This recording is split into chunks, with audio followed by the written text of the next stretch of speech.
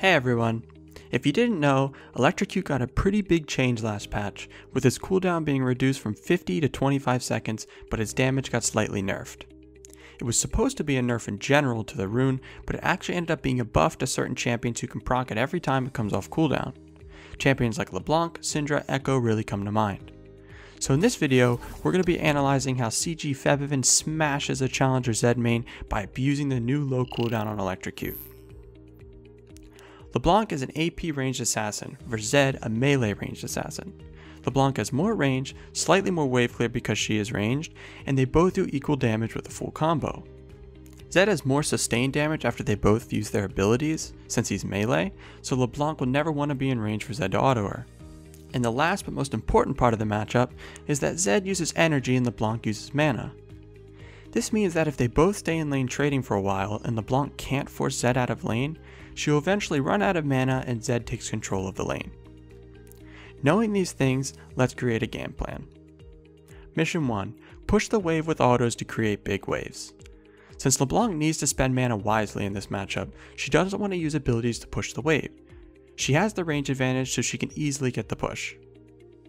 Mission 2. Harass Zed whenever Electrocute comes up. With Electrocute only having a 25 to 20 second cooldown, every time it's up LeBlanc can easily go in and proc it, giving him a ton of free damage. Mission 3. Continue missions 1 and 2 until Zed is forced to recall or overstay. If LeBlanc plays this matchup right, it's almost impossible for Zed to win nowadays. Zed can't proc Electrocute unless he hits his full WEQ combo, which is really easy to dodge for good players, so Zed will eventually get too low to stay in lane and be forced to recall and lose a ton of CS or straight up die to LeBlanc. Alright, let's move on to the gameplay. At the start of the lane, Febiven is playing really aggressive by starting Q and looking for harass early.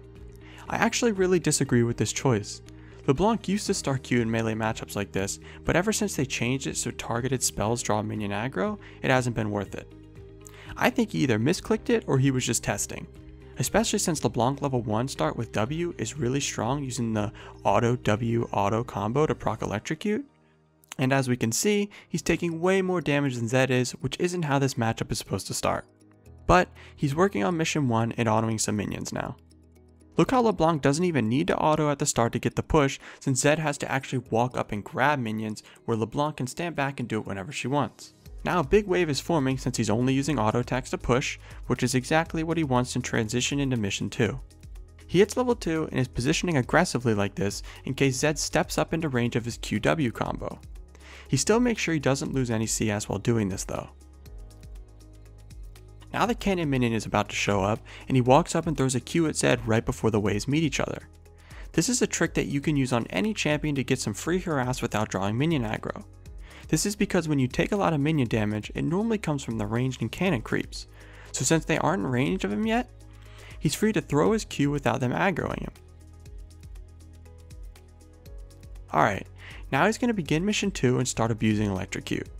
Since Zed won't walk in range for him to use Q and then W, he uses W first and uses Q in an auto to proc Electrocute.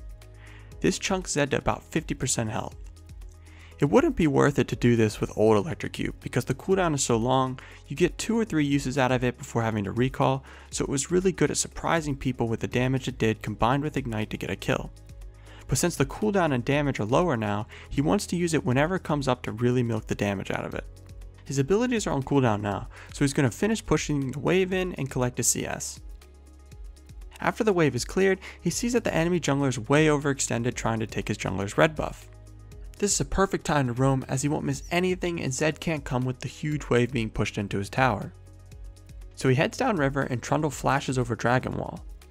Knowing that Trundle doesn't have flash lets him use W, E flash, then Q to get him a kill. If Trundle had Flash here, he wouldn't have done this because he knows Trundle would just flash away.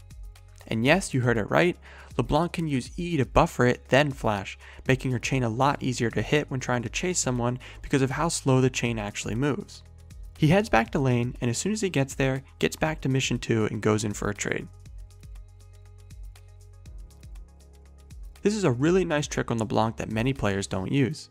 Good players will always be standing behind minions when going versus LeBlanc to make sure a chain doesn't hit, so when you W in, they will just run around their minions.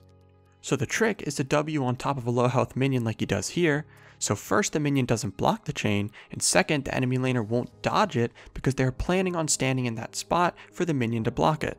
Another trick he uses here to get such an insane trade off is that he walks one way and sees Zed step up to use his WEQ combo. He immediately walks the other way, then dashes the perfect angle to the side of Zed and dodges both shurikens. And trust me, this was no accident. Anyways, this trade drops Zed to 30% health and Febiven is basically at full. I'm not really sure why Zed actually swaps to a Shadow afterwards. If he hit his shurikens, LeBlanc would be a lot lower and this could potentially be a kill for him, but I don't know. This was pretty troll by him. He ends up dying for this and uses his flash, so he's pretty screwed when they start laning again. After Zed dies, Febiven is going to recall instead of pushing the wave just like I did in my latest video where I'm playing Akali vs Zed and let the wave push to deny him a lot more CS than it would if he pushed the wave in. He comes back to lane to a huge wave that he's going to want to clear before playing too aggressive. If he autos or uses Q on Zed, the minions will do so much damage to him. So he uses his minion dematerializer on the cannon and starts last hitting. Then, when Zed uses his W, he does the same trick as before and uses W on top of a few low health minions, killing the one that Zed was hiding behind and lands a full combo on him, proccing Electrocute and doing 50% of his health. Now he's just finishing clearing the wave so we can start missions 1 and 2 again.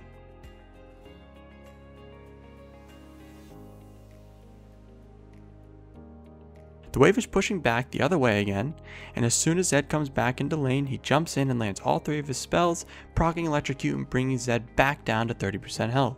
And since Zed knows that Febiven is stacking a big wave to push into the tower and eventually dive him and kill him, he's forced to recall here. Febiven notices that Zed recalled so he starts using his abilities to quickly push in the wave. He wants the wave to crash on the tower now so Zed is punished for recalling. He now has three options recall since this is a time where if he recalls he would miss nothing and you can't always get a perfect recall. Look for a roam or just stay in lane. Which one do you think he's going to choose and why? He chooses to stay in lane because he has two corrupting potion charges left. Both his top lane and bot lane are recalling, so he can't roam, and he has a huge wave on the tower where he can harass Zed when he's trying to CS it. If he was out of corrupting potion charges, he would have recalled. So while he's waiting for Zed to come back, he's getting some tower damage to potentially get first tower if Zed really messes up. Then when Zed starts to last hit the ranged minions, he looks for some harass. He fakes like he's going to combo him to make Zed use his Q to last hit, then he hits him with Q while out of tower range, then goes in with W and auto to proc electrocute. This brings Zed from 100% health to 30% and he just got back from base and now it's back to mission 1, pushing in the wave without using abilities.